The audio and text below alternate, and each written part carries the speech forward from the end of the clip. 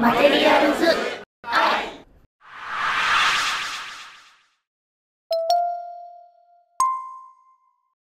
子供の頃散々遊んだシャボン玉。いかに大きくするかいかに長く持続させるかに注目したと思います。だけど中にはこんなシャボン玉ができたことに気づいた人いないですか？見てください。半分だけのシャボン玉。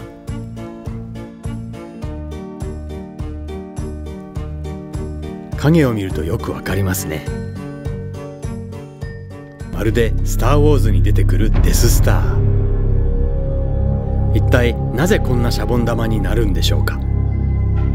答えは光を使って物が見える仕組みに関係があるんです。人間の目に透明なシャボン玉が見えるのはシャボン玉に当たった光が反射して目に入るからです。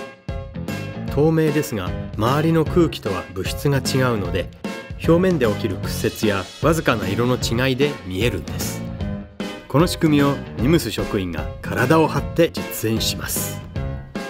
出演するのは光の役を演じる三つ子1号と2号です。足元には左右それぞれ違う色のマークをつけています。茶色い壁がシャボン玉の表面だと思ってください。上から見るとこんな感じ。光はシャボン玉の壁で反射して目に映ります。ところがシャボン玉の壁には厚みがあります。こんな感じです。なのでもう一筋光の通り道があるんです。三つ子2の登場です。三つ子2はシャボンの壁の手前で反射します。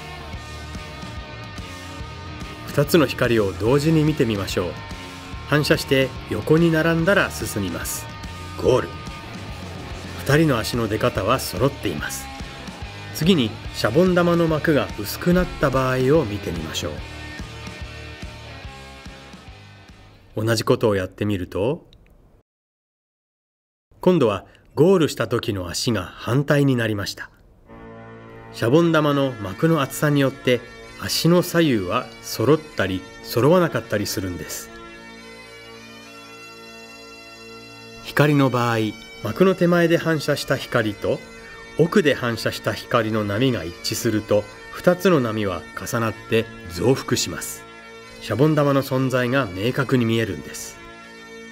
しかし膜の厚さが変わって2つの波の頂点がずれると波は打ち消し合ってしまいます。平坦になってしまった光の波は暗いため目で捉えづらくなるんです。シャボン玉の膜は石鹸の間に水が入っていますが徐々に蒸発して抜けていきます。少なくなった水が重さで下半分に下がってくると上側の膜は薄くなります。薄くなった上側では光の反射が弱まり見えなくなっていたんです。下半分のシャボン玉。こんな原理で見えていたんですね。